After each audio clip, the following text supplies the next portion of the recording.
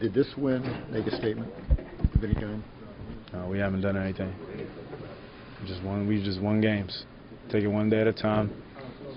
It was just another game that we had to go out there and compete and win. And uh, we did a great job out there. we did a great job going out there and playing as a team and, and working hard and getting the win. It's, we'll have to do the same thing again Sunday. I mean, it's, it's basketball. It's NBA. It's a lot of games. Um, it's just another game that we got to get focused for. That we had to get focused for. We got focused for. Now we got to do it again on Sunday. Take the game um, one by one, one day by day, one by one, and um, try to figure out ways uh, in the course of the game to be effective. Um, some games I might not need to score. Some games I might need to get my teammates involved. Some games, you know, I got to read the defense and see what the best decision is and continue to keep getting better at decision making. Tyronn Lue said before the game you're an all-star. You have thoughts on that? Uh, coming from somebody like him who's been around great players, who play with great players, and who's obviously coaching the best player we have in our league, it's, it's an honor for him to say that. But again, it's out of my control, and um, I'm just taking one day at a time, man. Um, I'm not satisfied by any means, neither is this team. We, I got to keep getting better. This team needs to keep getting better, and sky's the limit if we continue to keep doing that. What was the secret in you guys being able to gel so fast? Honestly, I think it's the, the personalities and the men we have in this locker room. These are my teammates are phenomenal people, not just basketball players, but they're phenomenal people. And when you surround yourself with great people and people who sincerely care about your, your you and the team,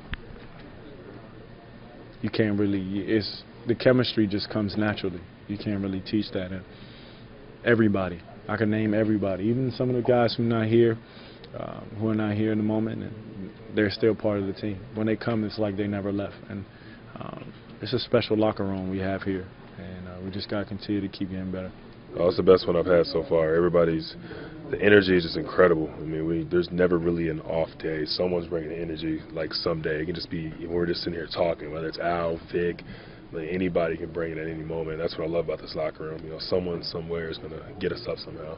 Taking times and making our reads. I mean, we're just uh, you know, we're we're taking advantage of mismatches and we're doing a great job of moving the ball. And um, in the in the late moments, um, we're just making the. You know, obviously, Vic's hitting some big shots, and we're hitting we're hitting some big shots, but we're putting them in a good position to do so.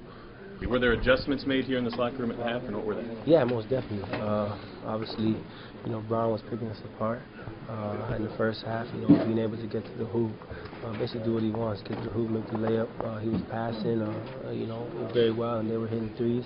So we were just kind of trying to, you know, meet him, you know, a little bit later, not, you know, help so early and take away the threes from other guys.